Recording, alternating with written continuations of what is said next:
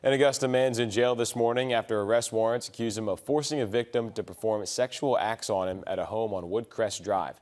26-year-old Jordan Williams was arrested Tuesday. Arrest warrants say on Monday, Williams taped the victim's hands together, holding her at gunpoint. He's also accused of hitting the victim in the head with the gun when she tried to stop. Williams is facing aggravated sodomy, false imprisonment, and gun charges.